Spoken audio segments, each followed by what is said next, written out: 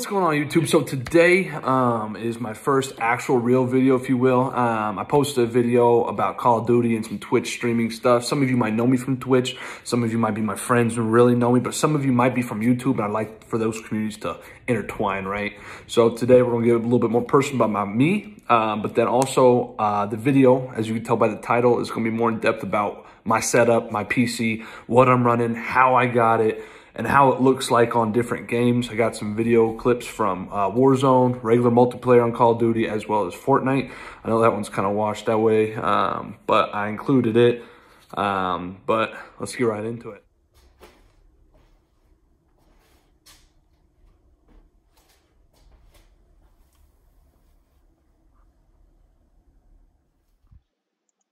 All right, guys, when I go to the screen record, the audio is going to get a little bit less quality, right? I apologize, Advance. Leave a comment in the description. I don't know. Anyway, so this is basically what I'm rocking, right? I got the Alienware Aurora R8. Um, it's kind of outdated now. I would link this in the description, but I think they're onto the R11 series now. Um, but basically, what it came with is on screen, right? Um, I have the 9th gen Intel Core i7 9700. Um, I have the Windows 10 came with it, right? An NVIDIA GeForce RTX 2060 Super. Um, the only downfall about this GPU is that I uh, only got eight gigabytes of VRAM with that. I'm thinking about that might be one of my first upgrades on it. It came with 16 gigabytes of RAM installed, right? As you can see here. Um, a little bit more specs. It came with a 512 gigabyte uh, NVMe SSD for the boot, um, and then a terabyte at 7 1,200 RPMs of SATA storage. Um, I don't think that's on screen. No, it's not. Um, but it does a lot, saves a lot, and it loads up pretty quick. It came with two fans, and for $50 more, I threw on a water cooling system in it to it. So it's dead quiet. It never overheats. I have never had an issue. And I mean, I have put this thing to the test, overclocked it the whole night. All right, we got the thing unplugged. It's here on the ground, right? So to get it unlatched, right, you got a little lever you got to pull up on, pull up on that allows your power supply, whole unit cage. I'll show you what I'm talking about to come out. Um, right here we have a little lever we pull out on. Um, there's a little screw. All right, done you the pleasure, take that guy out. But then also there's a screw that was right here, took that guy out, right? Pop this shield off, and now we're into the main frame here, right? Boom. And a little dirty, but never hurt anybody. Swing this thing open. And inside, we have the beast. Hey, so we're back. Um, we got it all pieced back together, got it all plugged up, it's up and running, everything's smooth. We talked about what was under the hood. I want to talk about how I got it, right? So um, about two, three years ago, I was at work. Um, this guy came in. He was telling me about how he got an Xbox One X, which was hot at the time, uh, for $40 a month, right? And I was like, sounds kind of sketchy. How'd you do it? Um, two, three years ago, I was 19, 20 years old, right? Um, and the guy was like, yo, just go into the local Microsoft store. I had one in town in Indianapolis, Indiana. Uh, shout out Hoosiers. Um, you know, you just waltz on in, tell them what you want. They put on a credit line account. It's not a card, it's an actual account with Dell. Um, they'll run your credit, that kind of thing. Um, I was 19, 20, I had my own car at that point. My credit score was pretty good for a 19, 20 year old. I was like, what's the matter? I didn't have a lot. I had my car payment. I think I had like a small secured credit card. So I was like, what's this going to hurt? It can only build my credit. And it's a hobby of mine, something that I'm not, I don't feel like it's a, uh, a bad purchase. Not the traditional way of just paying cash and saying, yo, I paid for it, it's mine, boom. But what this did is it allowed me to buy this higher end PC uh, for higher end like gaming, running frames higher, um, streaming if I wanted to, that kind of thing, which I've been dibbling into now. Um, but at the end of the day, I walked in, got an Xbox. Um, they gave me like a $1,200 credit line, got an Xbox, 2K20 at the time, uh, like a year of Game Pass and Live, an extra controller, a Tomb Raider, all sorts of stuff, right? Uh, put on this account. I was paying like 40 bucks a month, walked out of the store with it, went home, hooked it up, called it a day. I still have that Xbox, just kind of hangs out now that I got this PC, but it's all paid off. Um, fast forward two three years, right? This past year, beginning of 2020, um, they're like, yo, this credit account got boosted up to $3,000. I had no idea my credit score went up. And I was like, yo, what, what happened? So I looked into it. Um, and they're like, yo, you got to use this or you're to, the account's going to get closed. Cause I didn't have anything on it for a couple months, almost a year. Um, and so I looked into Dell, what they had to offer. I was looking at NZXT, buying a PC from them. I was looking at Newegg, piecing one together myself. I was looking at um, asking my friends, hey, how do you do this, how you do that with building a PC. I was new to all of it.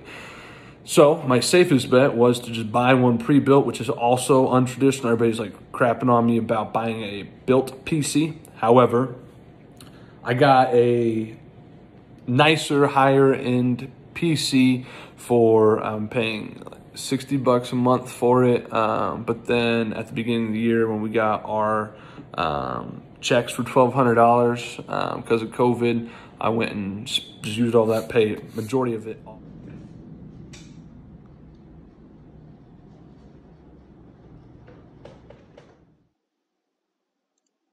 All right, guys. So First thing on the list, um, we're just going to go down this pretty quickly. Don't want to make it too long of a video, but we talked about the hardware. We talked about the Alienware. Next is the monitors, right?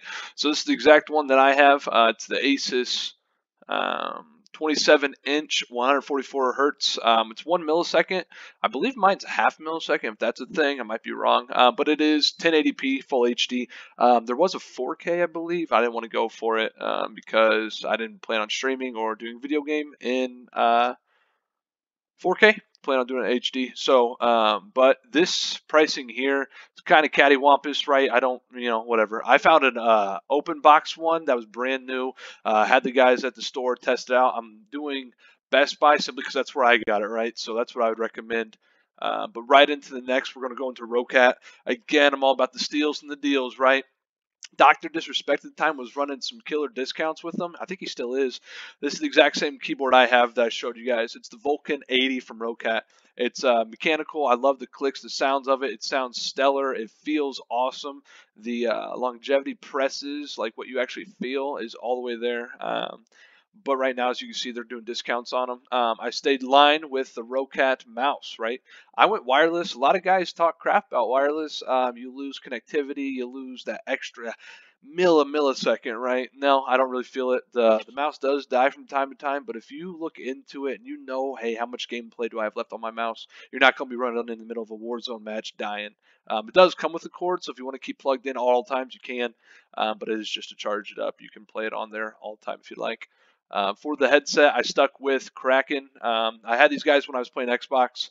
Um, again, this guy is $100. Um, I got it on Black Friday last year, um, and it runs from Xbox to PC, so it's wonderful. I love it. I use a little THX bar now that I have PC because it plugs in straight to USB into my PC, um, which allows me to control a little bit more. There's a Razer Synapse app where you can do a little bit more in-depth controlling on your sound, your playback, that kind of thing with it. It's pretty awesome.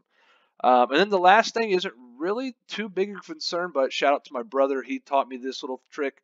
Um, I was running Cat 5 cable for the longest time from my uh, my Wi-Fi box, my router, my modem straight into my PC. Um, and Cat 5's cool and all, but then I found Cat 6, right?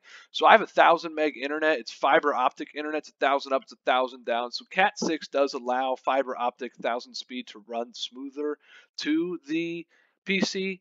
I'm not noticing any faster speeds on the PC, honestly, from the Cat 5. It's not anything crazy. Um, it's about the same speeds, honestly, up and down that I'm seeing. However, the latency, the connection is a little bit more true. Um, I'm getting closer and closer to the zero ping, if you will. Um, but simple test is uh, running same speeds. But that's what's on the on the. Uh-huh. Oh, hey. So these next clips are just going to be uh, in gameplay. Um, notice in the corners, I believe Call of Duty's top left, Fortnite's to the right, the FPS, it's just going to be the frames per second, what I'm running, how it's running in game with what my build is. Uh, I believe Call of Duty multiplayer, I go from 120, 140 frames per second, which is pretty high. Xbox consoles, they're about 60 frames per second maxed. Um, whereas in Warzone, I run anywhere from about 100 to 120, push 130. Um, there's a lot more going on in Warzone, right? Uh, but then Fortnite, it's running, I think, 90s to 120. Um, I think it get upwards of 130. But uh, yeah, don't hate on the gameplay, okay? It's quick, it's for educational purposes. Save the whales, dude.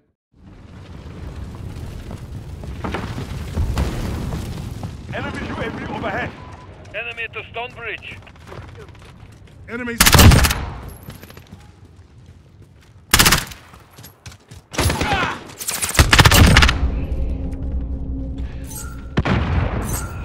Confirmed.